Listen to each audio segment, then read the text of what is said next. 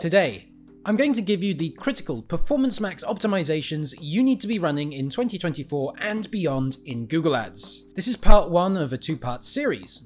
First five today, next five will be in my next video. At my agency Big Flare, we make literally millions of dollars from Performance Max Google Ads for our clients. Let's look at last year, and then let's scroll down here, and as you can see, just under $18 million in revenue from Performance Max alone this past year, add a return on ad spend above 4x. The Performance Max optimization tips I'm about to give you are exactly what we do right now in 2024 to get these results for clients. So let's dive right in.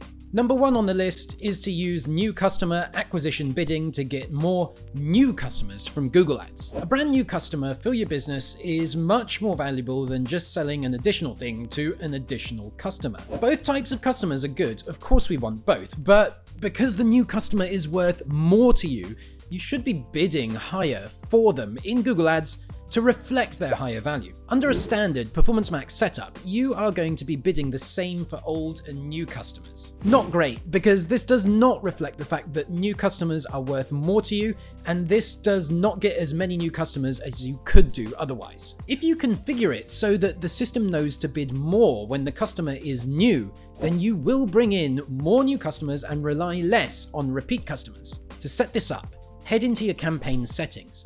There you will see the option to bid higher for new customers.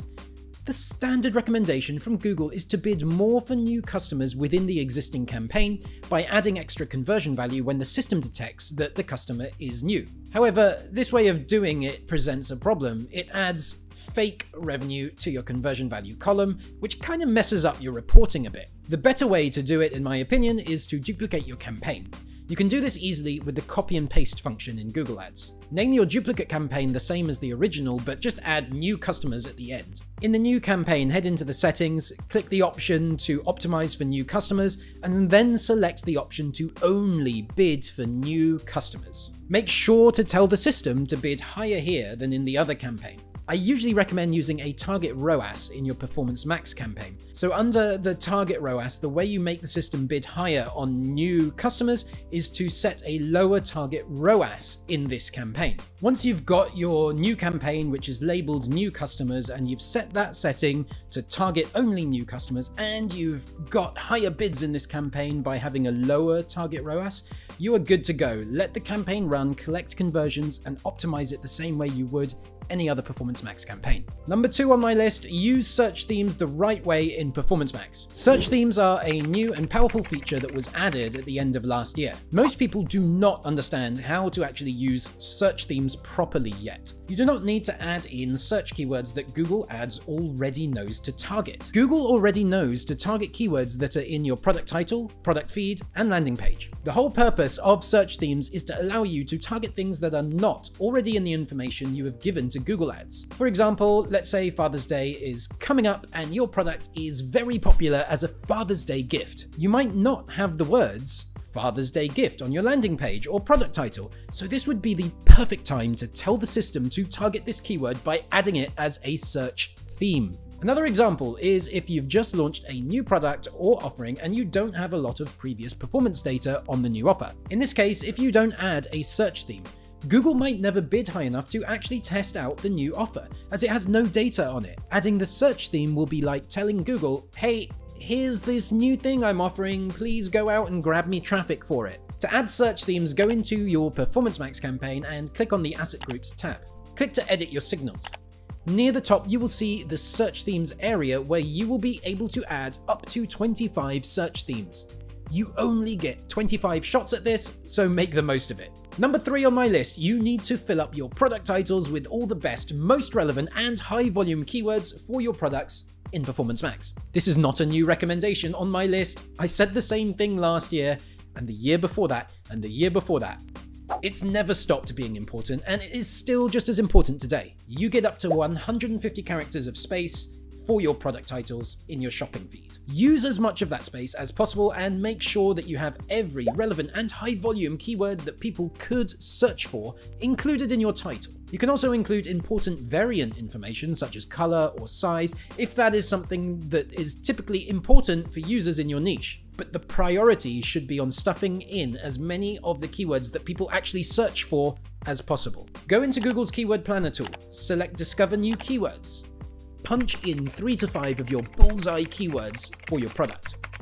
From the results page, select all the keywords that are relevant to your product and prioritize them based on average monthly searches. The more the better. Now you have a list of keywords to fit into your product title. Google prioritizes words at the front of your title. So the higher the volume of the word, the closer to the front of your title it should ideally be. By the way, if you would like to get the kinds of results that my team and I at Bigflare got for this client, or even this client, then head on over to the link in the description below. Using the form on that page, you can get in touch with me and schedule in a free PPC strategy session. We'll hop on the phone, discuss your challenges, and dive into actionable strategies that you can use to grow your revenue with PPC. All right, so optimization number four. Make sure to optimize your product type field. This is a super important Performance Max optimization that helps Google understand which keywords to show your products for.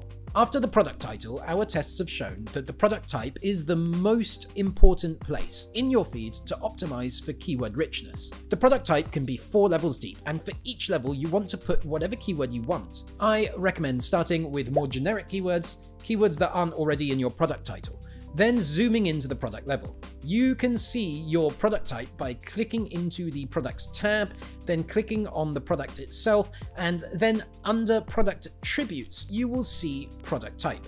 Now, in this example of an account that I'm auditing for another business, they have not used a great product type. It's not four levels deep and it's not as keyword rich as it could be. A better one would be clothing and accessories, shirts and tops, men's shirts, button up shirts. Number five on my list.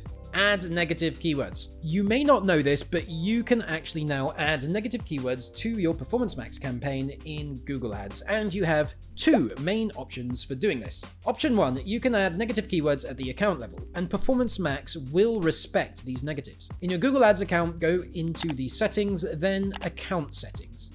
Find the negative keywords section and add keywords in here to neg them out from your entire account, including Performance Max. Option 2, you can request for a Google support rep to manually add in negative keywords specifically to your Performance Max campaign. This is a more useful option if you have keywords you want to neg from PMax but not necessarily from the whole account. To do this, access this PMax change request form, then fill it in. There's a link in the description below this video to take you straight to that form. Fill out the necessary fields, then download the template file. After you fill in the template file, upload it back to the form and hit submit. This was part one of a two-part video series. To check out my next five Performance Max optimization tips, then click this video right up here. And if this video has been useful for you, then be sure to subscribe. I post each week about Google Ads, paid traffic, and e-commerce marketing, so stay tuned.